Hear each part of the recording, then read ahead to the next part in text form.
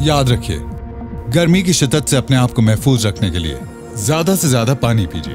अपनी गर्दन को ढांप के रखिए। हेलमेट लाजमी पहने।